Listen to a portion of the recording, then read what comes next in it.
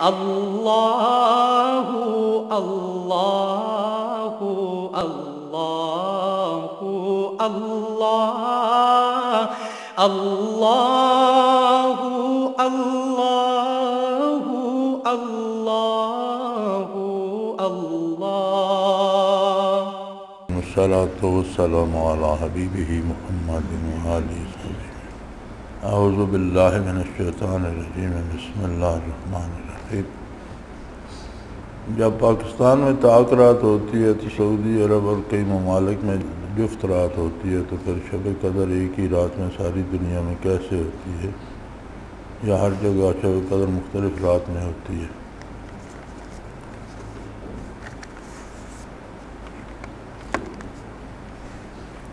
شب قدر پاکستان میں بھی ایک ہی رات میں نہیں ہوتی۔ این ممکن ہے کہ یہاں ایک رات میں ہو، کسی دوسری جگہ پاکستان میں ہی، کسی دوسری طاق رات میں۔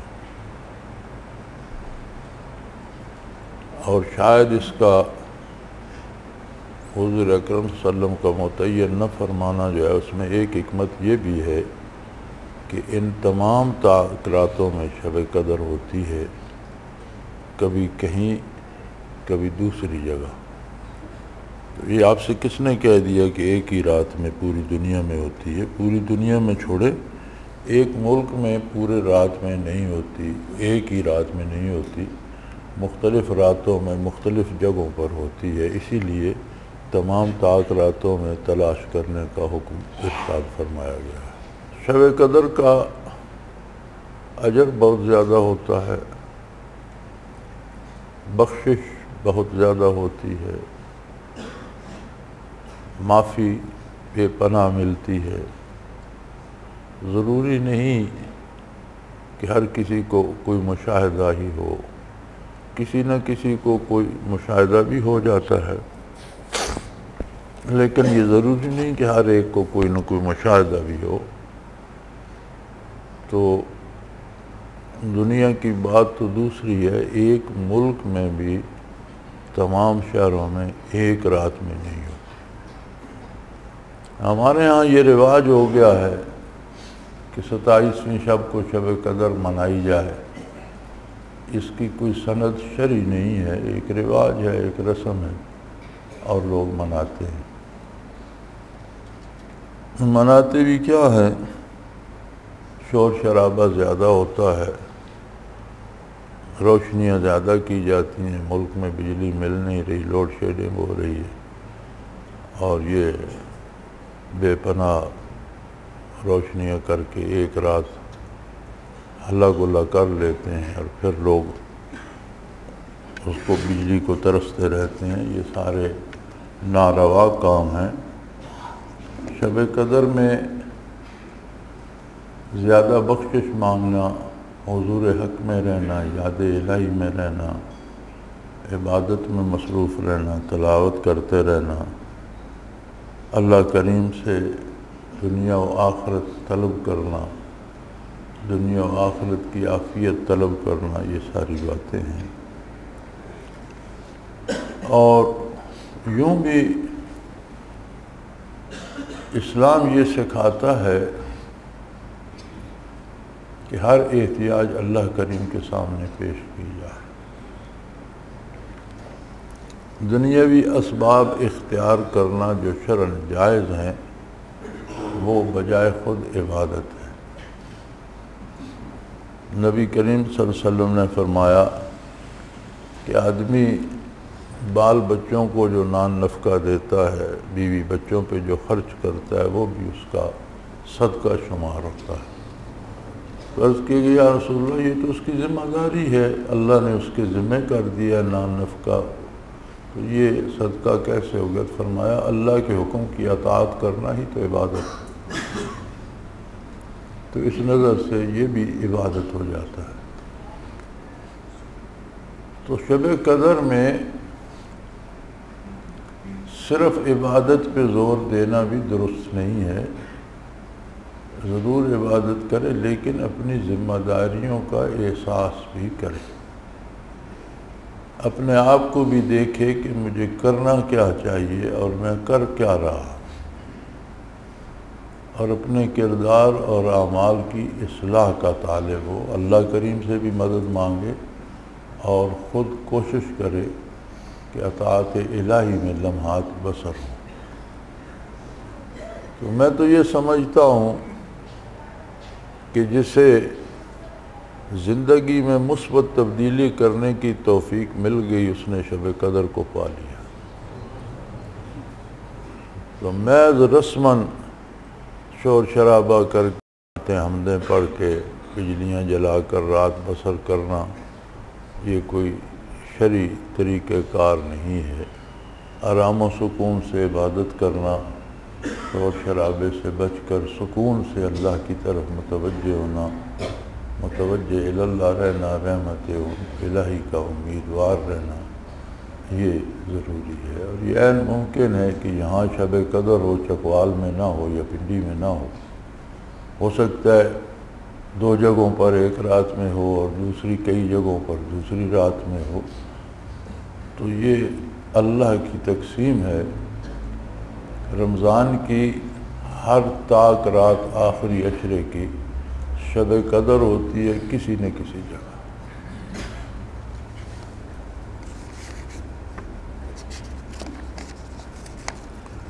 تو جس طرح اوقات میں فرق ہوتا ہے اور اس کے مطابق نمازیں فرض ہوتی ہیں، ہمارے ہاں فجر کا وقت ہوتا ہے، کسی دوسرے ملک کے ہاں زور کا ہوتا ہے، کہیں اگلے ملک کے بعد اثر کا ہوتا ہے۔ تو ہر وقت کے مطابق وہاں عبادات بھی فرض ہوتی ہیں، ان کا اجر بھی ملتا ہے۔ اسی طرح ہر ملک کی، ہر شہر کی شب قدر اپنی اپنی رات کو ہوتی ہے۔ جنگ بدر کا پہلا مارکا جو ہوا، اس کی بنیادی وجہ کیا ہے؟ ایک مولوی صاحب حضرت ابو سفیان کے لشکر سے مال غنیمت لوٹنا کا بتلا رہے تھے۔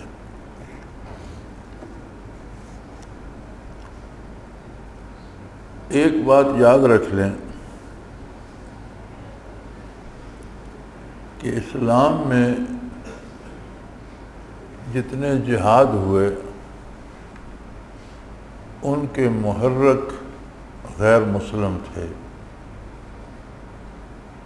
اور ایک اعتبار سے یہ سارے جہاد دفاعی تھے۔ یوں تو مورخین نے اسی سے زائد بیاسی بعض کے نزدیک چوراسی غزوات و سرایا دس سالہ عہد نبوی میں لکھے ہیں۔ لیکن اس میں یہ بھی ہے کہ جہاں چار پانچ آدمیوں کا دستہ کسی کام کے کرنے کو بھیجا گیا، اسے بھی سریہ کہہ دیا گیا ہے۔ حقیقتاً جو بڑی جنہیں جنگ کہا جاتا ہے، جو غزوات ہیں، ان کی تعداد چھ سات، آٹھ سے زیادہ نہیں ہے۔ اور ان میں ہمیشہ پہل جو ہے وہ کفار کی طرف سے ہوئی۔ حتیٰ کہ کیسر و کسرا کے ساتھ جو جہاد ہوئے، اس میں بھی جب وہ خطرہ بنے ریاست اسلامی کے لیے، تب ان سے مقابلہ کیا گیا۔ اور یہ طریقہ کار خود نبی کریم صلی اللہ علیہ وسلم نے دیا تھا کہ جنگ کو ملک کے اندر نہ آنے دو۔ اگر کوئی تم پر جنگ مسلط کرتا ہے تو اپنے ملک کی سرحد پر جا کر لڑو۔ ہمت ہے تو میدان جنگ دوسرے کے ملک کو بناؤ۔ کیونکہ جہاں میدان جنگ بنتا ہے تو بہت سے وہ لوگ متاثر ہوتے ہیں جن کا جنگ سے تعلق نہیں ہوتا، بہت سے ایسے لوگ مارے جاتے ہیں جو لڑ نہیں رہے ہوتے۔ تو جو میدان جنگ بنتا ہے، اس جگہ کا نقصان بہت ہوتا ہے۔ جنگ بدر کا بنیادی سبب یہ بنا کہ اہل مکہ کو یہ اطلاعات پہنچیں یہودیوں کی طرف سے۔ منافقین کی طرف سے، عبداللہ ابن عبی کی طرف سے کہ آپ نے تو مسلمانوں کو گھروں سے نکال دیا تھا اور آپ سمجھے کہ یہ بات ختم ہو گئی، لیکن وہ تو مدینہ منورہ میں بس گئے ہیں اور انصار نے انہیں جائیدادیں بھی تقسیم کر کے دے دی ہیں، گھر بھی دے دیے ہیں اور وہ زراعت اور شجر کاری اور تجارت اور کاروبار میں مصروف ہیں۔ تو وہ تو ایک مضبوط قوم بن جائیں گے اور تمہارے لیے بہت بڑا خطرہ بنیں گے۔ تو اہل مکہ نے ایک تجارتی قافلہ بنانا چاہا، جس میں زیادہ سے زیادہ سرمایہ لگایا جائے اور اس کا جتنا منافع ہو، جتنی آمدن اس سے ہو اس ساری سے جنگ کی تیاری کر کے مسلمانوں کو ہمیشہ کے لیے ختم کر دیا اس قافلے کے سرمایہ کے لیے مورخین لکھتے ہیں کہ معصوم بچیوں کی بالیاں تک بھی اتار لی گئیں، جس قدر سرمایہ ہو سکا زیادہ سے زیادہ۔ اور حضرت ابو سفیان رضی اللہ عنہ جو اس وقت تک مسلمان نہیں تھے، انہیں اس کا ذمہ دار ٹھہرایا گیا اور وہ قافلہ لے کر مغرب کو روانہ ہو گئے ملک شام کی طرف۔ وہ قافلہ واپس آ رہا تھا۔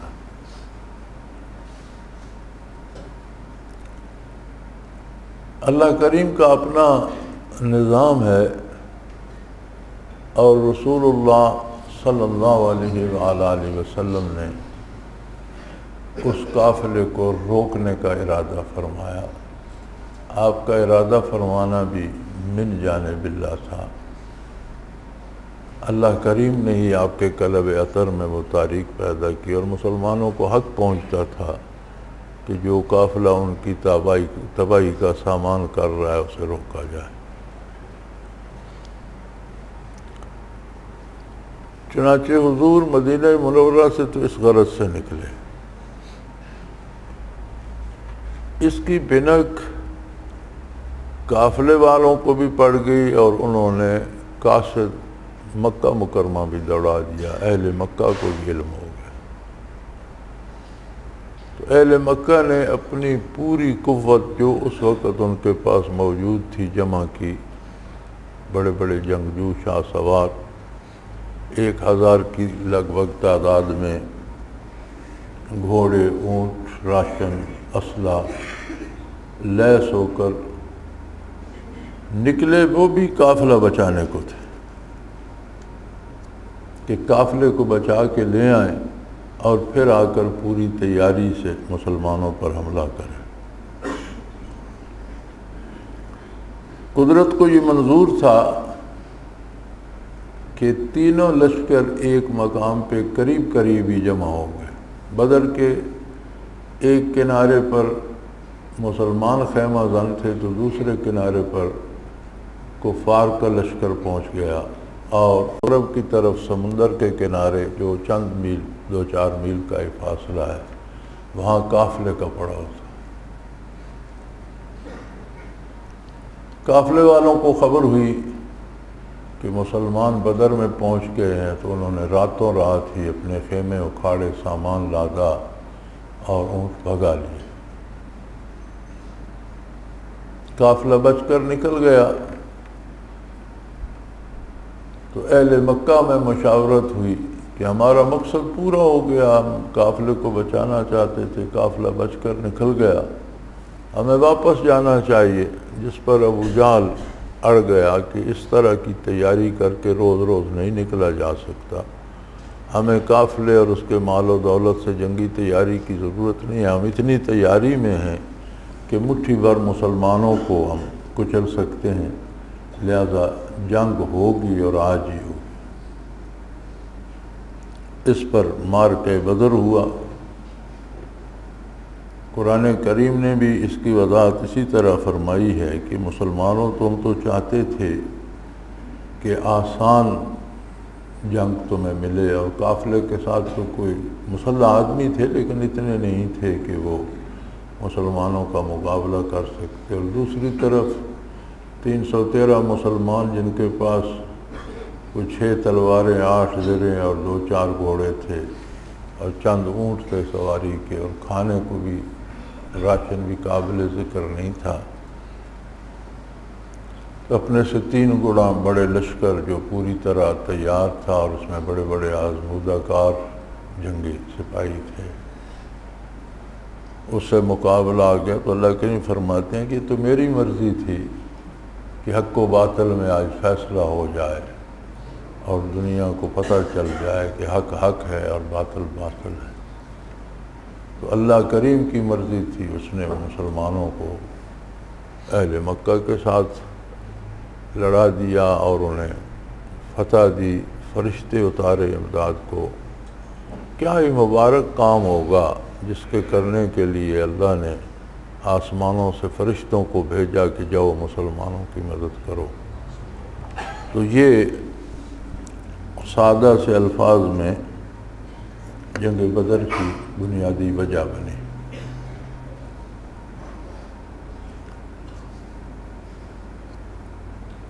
آگے ہمارا الفاظ کا چناؤ ہوتا ہے، انداز بیاں ہوتا ہے۔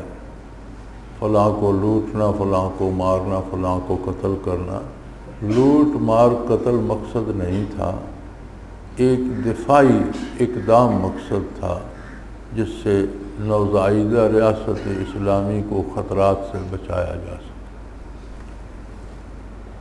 آگے پھر اپنا اپنا انداز بیان ہوتا ہے لوگ کس کہنا کیا چاہتے ہیں، وہاں لفظ کیا استعمال کرتے ہیں، سننے والا اس کا مطلب کیا سمجھتا ہے، یہ پھر عجیب و غریب کو رکھدندہ بن جاتا ہے۔ تو یہ ایک بنیادی بات یاد رکھیں کہ مسلمانوں نے زیادتی کرتے ہوئے کسی پر چڑھائی نہیں کی، کیونکہ اسلام کوئی بھی مذہب رکھنے کی اجازت دیتا ہے۔ مسلمان ریاست بہت طاقتور تھی، پڑوس میں یہ بر صغیر تھا، کسی نے اس کو نہیں چھیڑا۔ ہاں جب راجہ داہر نے مسلمانوں کی بیوہ عورتوں اور یتیم بچیوں اور بچوں کے جہاز لوٹ لیے اور ان کو قیدی بنا لیا تو وہ سبب بن گیا راجہ داہر پر حملہ کر کے قیدیوں کو چھڑانے کا، جس کے نتیجے میں دیبل کی ریاست اور سندھ فتح ہوا۔ تو اگلی ریاستیں اپنے دفاع کے لیے ٹکراتی گئیں۔ انہوں نے مسلمانوں کو اپنے لیے خطرہ سمجھا، مسلمان ان کے ساتھ اپنے دفاع میں لڑتے رہے اور یوں بر صغیر میں اسلام آیا۔ فارس کی فوجیں بھی خود حضور صلی اللہ علیہ وسلم کے زمانے سے، کسرا کے زمانے سے مسلمانوں کے در پہ آزاد تھیں۔ کیسر بھی اسی طرح سے تو ان طاقتوں سے مسلمان اس انداز میں ٹکرائے کہ ریاست اسلامی کا دفاع کیا جائے۔ بعض حضرات یہ سمجھتے ہیں کہ یہ کہنا کہ اسلام نے دفاعی جنگیں لڑی تھیں، جہاد پر معذرت خانہ رویہ ہے۔ میرے خیال میں ایسا نہیں ہے۔ معذرت خانہ رویہ نہیں ہے، یہ ایک حقیقت پسندانہ رویہ ہے کہ اسلام کو کسی پر مسلط نہیں کیا جا سکتا، کسی دوسری ریاست کو آپ مجبور نہیں کر سکتے۔ لیکن جو ریاست آپ کی ریاست کے لیے خطرہ بنے گی، تو ریاست اسلامی کے تحفظ کے لیے آپ کو اس سے ٹکرانا ہوگا۔ تو اسلام کی خلافت راشدہ کی اور فتوحات اسلامیہ کی بنیادی سبب یہی وجہ بنی کہ اسلامی ریاست کا دفاع کیا جائے اور اسے دشمنوں سے بچایا جائے۔ تو مولوی صاحبان اپنی اپنی دانست، اپنی اپنی سمجھ کے مطابق بیان کرتے رہتے ہیں، اچھی بات ہے۔ اب یہ ایک الگ بات ہے کہ ایک لفظ کو کس طرح کہاں استعمال کیا جاتا ہے۔ اب یہ کہنا کہ ابو سفیان کے لشکر کو لوٹنا مقصد تھا تو یہ بات بالکل ہی بدل جاتی ہے، اور ہو جاتی ہے۔ ایک بن جاتا ہے کہ شاید مسلمان تو ڈاکو تھے، محض لوٹنا چاہتے تھے۔ تو آگے سے جنگ گلے پڑ گئی، ایسی بات نہیں ہے۔ یہ دراصل الفاظ کا جو ہے استعمال میرے خیال میں صحیح نہیں ہے۔ شاید مطلب جنہوں نے یہ کہا، ان کا بھی یہی ہو جو میں عرض کر رہا ہوں۔ لیکن اپنے اس، جو بندہ کہنا چاہتا ہے، اس کو الفاظ کا روپ دینا بھی ایک اللہ کی طرف سے خدا داد صلاحیت ہوتی ہے۔ ہم کہنا کچھ اور چاہتے ہیں، الفاظ ایسے استعمال کرتے ہیں کہ سمجھنے والا کچھ اور سمجھتا ہے۔ ایک اور بات جو میں عرض کرنا چاہتا ہوں وہ یہ ہے کہ جو بندہ بھی اس راہ پہ چلتا ہے، راہ سلوک پہ چلتا ہے، شیخ کو تلاش کرتا ہے، ذاکرین کی محفل میں آتا ہے، تو ہر بندہ یہ چاہتا ہے کہ اسے زیادہ سے زیادہ ملے۔ کوئی بھی کم پہ راضی ہونے کو تیار نہیں ہوتا، ہر شخص کی آرزو ہوتی ہے اور ہونی بھی چاہیے۔ کہ یہ برکات ہیں، رحمت الہی ہے، جتنی زیادہ نصیب ہو اتنی زیادہ حاصل کی جائے۔ لیکن یاد رکھیں، کچھ فطرت کے اصول بھی ہیں۔ آپ جتنی بلند عمارت بناتے ہیں، عمارت بنانے سے پہلے اس کی بنیادیں اس سے زیادہ مضبوط رکھتے اگر آپ ایک دس منزلہ عمارت بنانا چاہتے ہیں، تو اصول یہ ہے کہ آپ بنیادیں پندرہ منزلہ عمارت کا بوجھ اٹھانے کی بناتے ہیں۔ تاکہ اس پر دس منزلہ عمارت کو کوئی خطرہ نہ اور اگر بنیاد بنائی جائے ایک ایک منزل کے اٹھانے کی اور پھر اس پر دس بنا دی جائیں، تو وہ عمارتیں پھر کھڑی نہیں رہ سکتی وہ بنیادیں بوجھ نہیں اٹھا۔ یہ قانون فطرت ہے۔ اور ہم سب سمجھتے ہیں اس کو۔ سلوک میں بھی طلب تو آخری منازل منتحی منازل کی ہونی چاہیے، لیکن محنت، بنیاد پہ کئی گنا زیادہ کی جانی چاہیے۔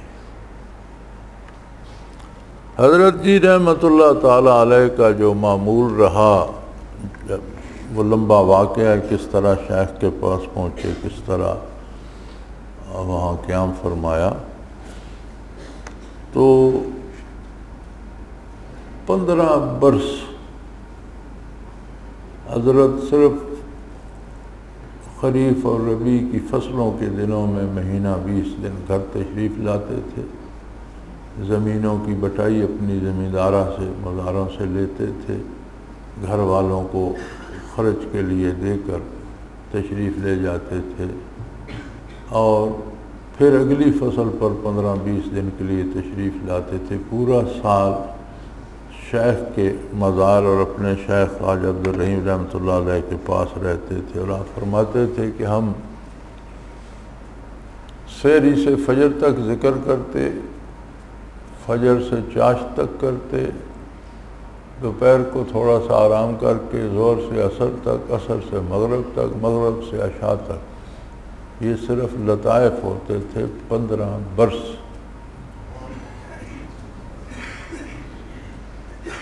اور فرماتے تھے کہ میں نے کئی دفعہ حضرت سلطان العارفین سے عرض کی کہ حضرت، کچھ مراقبات بھی عطا فرمائے تو فرماتے تھے کہ ہم پیلی اینٹیں نہیں پکانا چاہتے۔ ان پہ محنت کیے جاؤ۔ تو پندرہ برس کے بعد آپ کو مراقبات نصیب ہوئے اور وہاں سے فنا بقا اور سالک المجوبی کے مناظر کر کے حضرت واپس آئے۔ لیکن اس میں سولہ برس لگ گئے، جن میں پندرہ برس صرف لطائف پہ لگے۔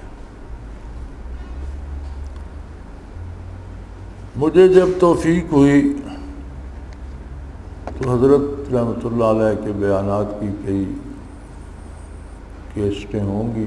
اس وقت ویڈیو تو تھی نہیں، آڈیو ہی تھی اور اس کی اب لڑکوں نے کچھ سی ڈیز بنائی ہیں۔ اب تو اس کا وقت بھی گزر گیا، اب سی ڈی آ گئی۔ میں نے وہ ساری نہیں سنی، لیکن شاید کسی میں ذکر ہو کہ اکثر حضرت ذکر فرمایا کرتے تھے۔ کہ مجھے لطائف پر تین سال لگے۔ اور میرے ساتھ لوگ آتے تھے، میرے سامنے آتے تھے۔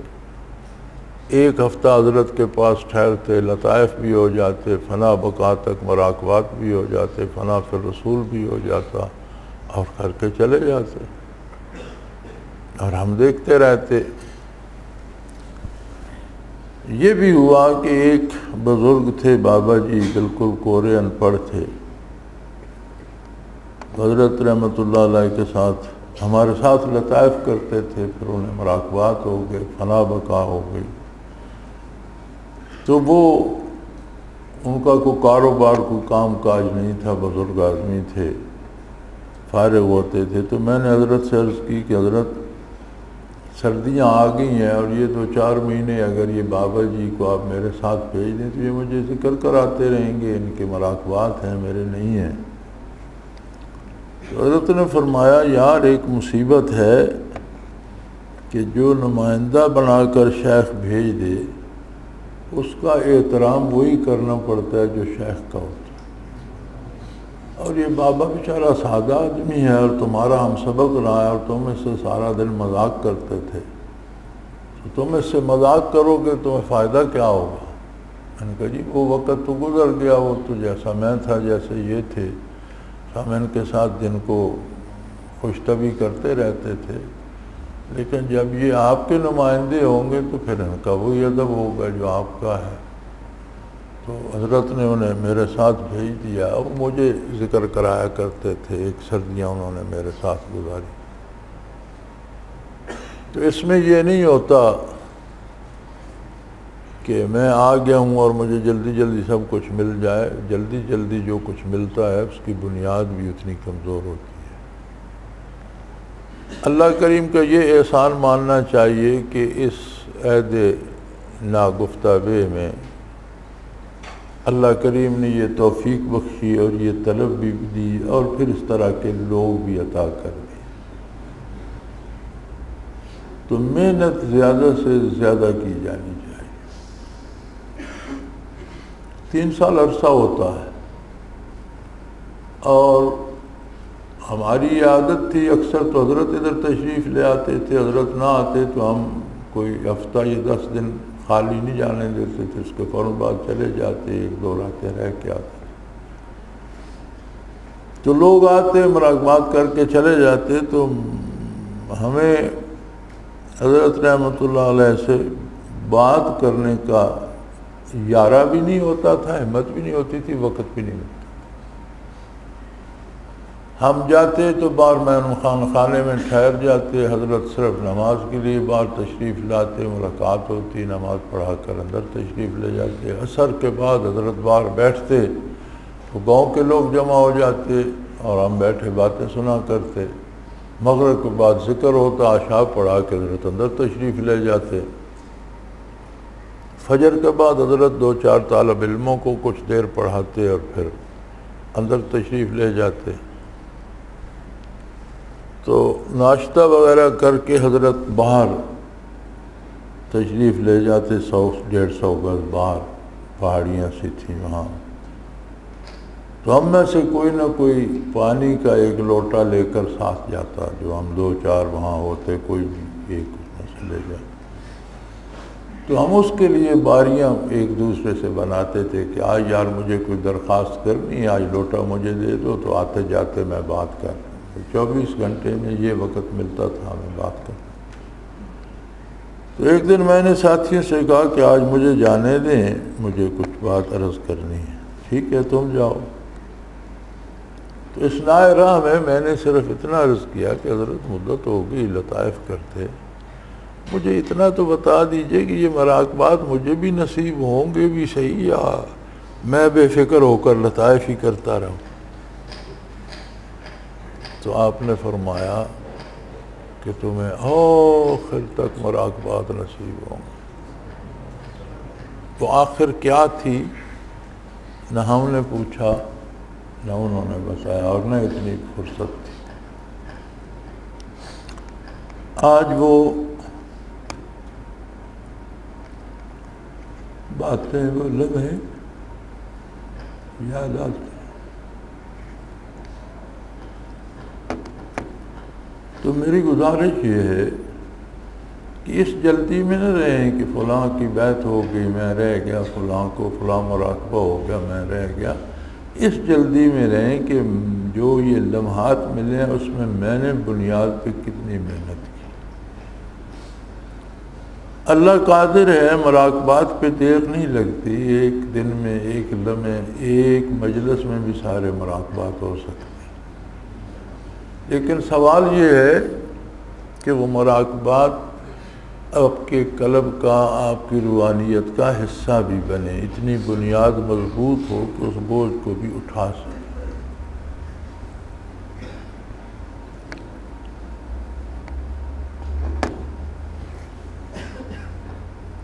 بہت سے ساتھی جو ہمارے ساتھ تھے، دنیا سے جا بھی چکے ہیں، جاتے بھی رہتے ہیں۔ لیکن حیرت ہوتی ہے کہ جب برزخ میں پہنچتے ہیں تو مقامات صرف وہ ہوتے ہیں جو راسخ ہو چکے یہاں ہمارے ساتھ ہوتے ہیں تو پتہ نہیں ان کے مراقبات کتنے ہوتے ہیں۔ ایک بہت اچھے ساتھی تھے، بہت نیک، بڑی محنت بھی انہوں نے ساری عمر کی۔ زندگی میں ان کے مراقبات بڑے اعلیٰ تھے۔ لیکن برزخ میں دیکھا تو سالک المجوبی کی ساتویں منزل پر تھے اور مجھے خوشی ہوئی کہ الحمدللہ بہت کچھ لے گئے۔ کیونکہ ساتھ مراقبات وہی جاتے ہیں جتنی بنیاد بوجھ اٹھا سکتی ہو اور جتنے وجود میں راسخ ہو چکے۔ میں کئی بار عرض کر چکا ہوں اور میں یہ مثال دیا کرتا ہوں کہ جب ہم دریا میں ہوتے ہیں تو ہمارے پاس بے پناہ پانی ہوتا ہے، پورا دریا ہوتا ہے۔ لیکن جب ہم پار اترتے ہیں تو دریا ہمارے ساتھ پار نہیں اترتا، وہی پانی پار اترتا ہے جو ہم اپنے دامن میں، اپنے لباس میں لے کے جاتے ہیں۔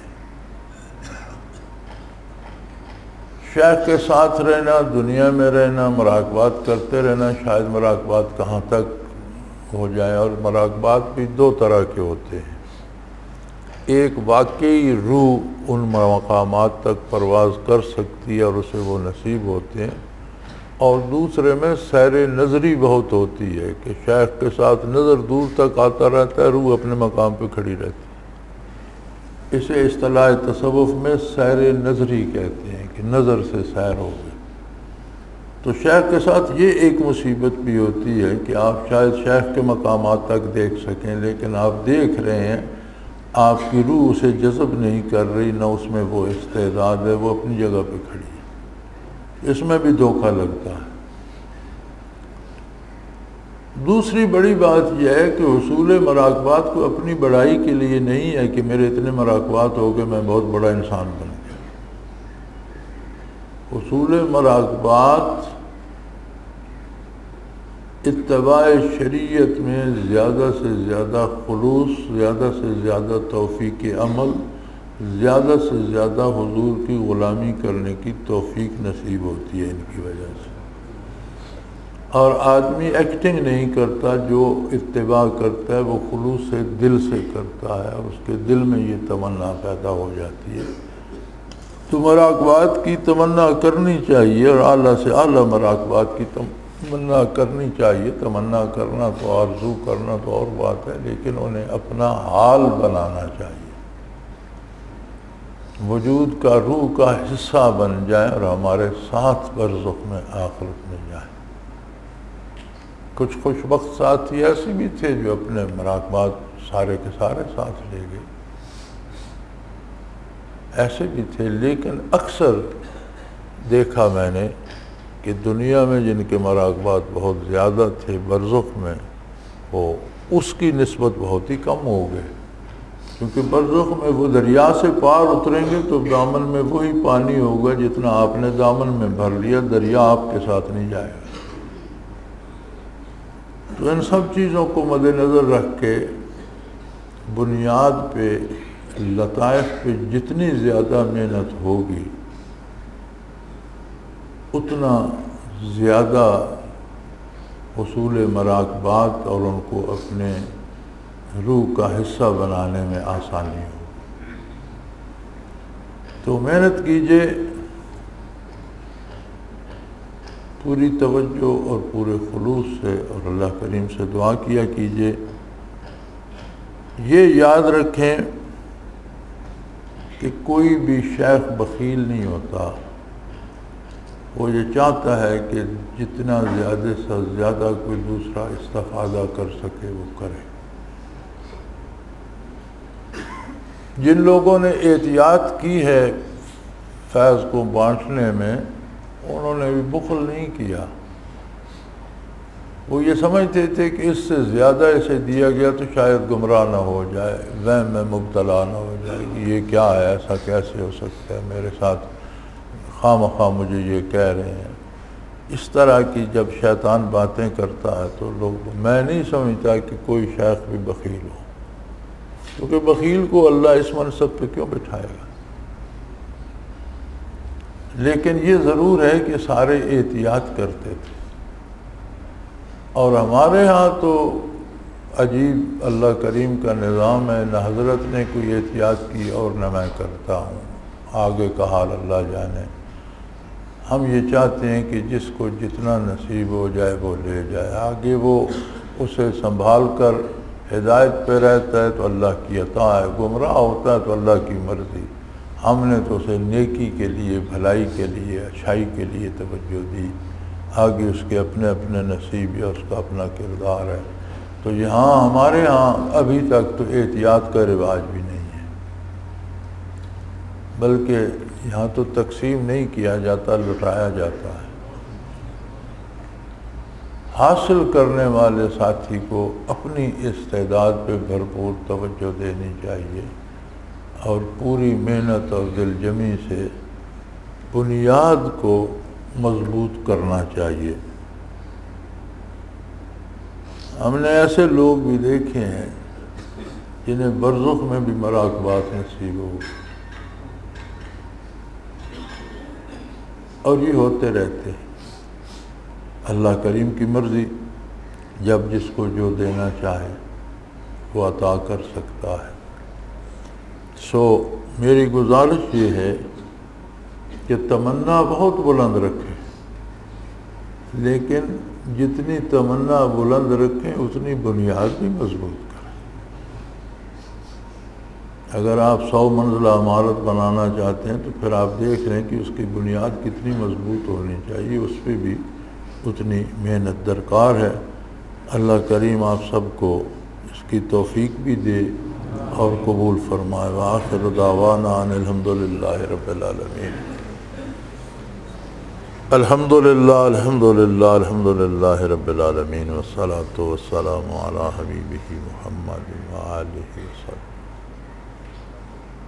اللہم ربنا لا تقتلنا بغضبك ولا تهلكنا بعذابك واعف عنا قبل اللهم ربنا لا تسلط علينا من لا يرحمنا انت ولينا في سفرنا وحضرنا في مالنا واهلنا انت ولينا في الدنيا والآخرة توفنا مسلمين وألحقنا بالصالحين اللهم انصر الإسلام والمسلمين إنك على كل شيء قدير اللهم انزل علينا من السماء ماء مباركا نافعا غير ضار هو الذي ينزل الغيث من بعد ما قنطوا ينشر رحمته وهو الولي الحميد.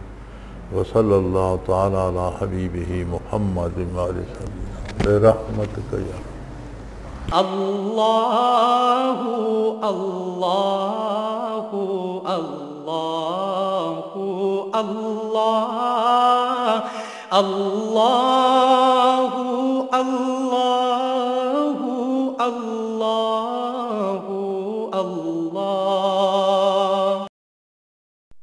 حضرت امیر محمد اکرم آوان مد ذلہ العالی دارالعرفان منارہ ضلع چکوال میں سالہ سال سے قرآن و حدیث کے اوپر خطابات کر رہے ہیں اور سلسلہ نقشبندیہ اویسیہ کے مطابق لوگوں کو ذکر الہی کی تربیت دے رہے ہیں۔